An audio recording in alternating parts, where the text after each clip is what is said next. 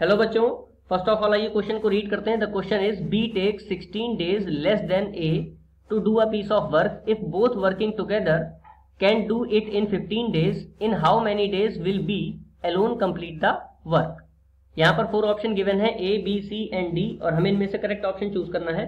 तो आइए क्वेश्चन को सॉल्व करते हैं। देखिए, सबसे पहले हम लेट कर लेंगे। Let A can complete complete a piece of work in x days. ठीक है? तो अगर a x डेज़ में करता है तो b कितने दिनों में कर लेगा? क्वेश्चन में गिवन है 16 डेज़ लेस यानी कि b कर लेगा complete in x minus sixteen days ठीक है? अब देखिए, दोनों का एक एक दिन का अगर हम वर्क निकालें तो कितना आ जाएगा? एज वन डे वर्क क्योंकि ये टाइम एंड वर्क का क्वेश्चन है तो इसमें हम सबसे पहले क्या निकालेंगे कि एक दिन में कितना काम कर लेगा। अब देखिए ए कंप्लीट करता है एक्स डेज़ में तो ए के एक दिन का काम कितना हो जाएगा? वन अपॉन एक्स और इसी तरह बीस वन डे वर्क निकालें। वन डे वर्क तो वो कितना आ जाएगा? One upon x minus sixteen ठीक है? अब देखिए, आगे क्या दे रखा है? Since A and B together can complete work in fifteen days यहाँ पर दे रखा है कि अगर दोनों एक साथ काम करें तो वो 15 डेज़ में कर लेते हैं। तो ए के एक दिन का काम प्लस बी के एक दिन का काम, यानी कि ए का वन डे का वर्क और बी के वन डे का वर्क अगर हम ऐड करें तो वो लिख सकते हैं वन अपॉन फिफ्टीन के इक्वल में।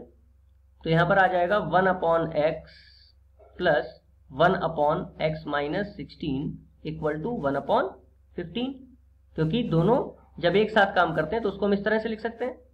अब देखिए, यहाँ पर एक क्वाड्रेटिक इक्वेशन बन जाएगी। अगर हम इसको सॉल्व करें तो x into x minus sixteen equal to में तो वन अपॉन फिफ्टीन है ही। यहाँ पर आ जाएगा x minus sixteen plus x तो ये हो गया x plus x two x minus sixteen upon x square minus sixteen x equal to में वन बाई फिफ्टीन। यहाँ पर अगर हम क्रॉस मल्टीप्लाई कर लें then we get x square minus sixteen x equal to fifteen two jar thirty x minus fifteen six jar fifteen की sixteen से multiply करेंगे तो fifteen six jar ninety nine carry fifteen one jar fifteen और nine two forty अब देखिए x square आ गया minus sixteen x और माइनस थर्टी तो कितना बन जाएगा? Minus forty six x plus two forty equal to zero ये क्वाड्रेटिक इक्वेशन फॉर्म हो चुकी है अब। अब नेक्स्ट पेज पे इसके फैक्टर करते हैं। देखिए यहाँ पर 240 के ऐसे फैक्टर करने हैं? जिनका सम 46 आ जाए तो क्या होंगे? 40 और 6 तो नेक्स्ट पेज पे इसको लिख लेंगे एक्स स्क्वायर माइनस फोर्टी है। तो इसको लिख लेंगे minus forty x, minus six x, plus two forty equal to zero. अब देखिए यहाँ पर x कॉमन मिल रहा है तो हमें फैक्टर मिलेगा इसका x माइनस फोर्टी। यहाँ पे माइनस सिक्स कॉमन ले लेंगे तो हमें कितना मिल जाएगा?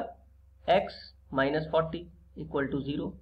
तो एक बार जब हम x minus forty equal to zero लेंगे तो हमें x की वैल्यू कितनी मिलेगी? फोर्टी।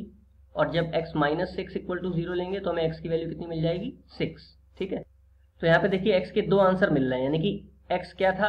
एक एक कितने दिनों में काम कंप्लीट कर लेगा? तो या तो ए फोर्टी डेज़ में कंप्लीट कर लेगा या फिर सिक्स डेज़ में कर लेगा।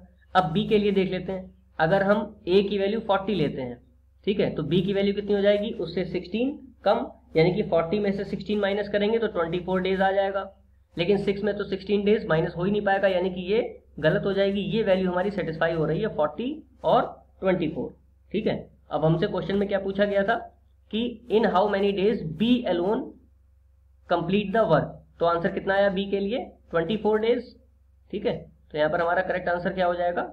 ऑप्शन ए आई होप आपको क्वेश्चन समझ में आया होगा. Thank you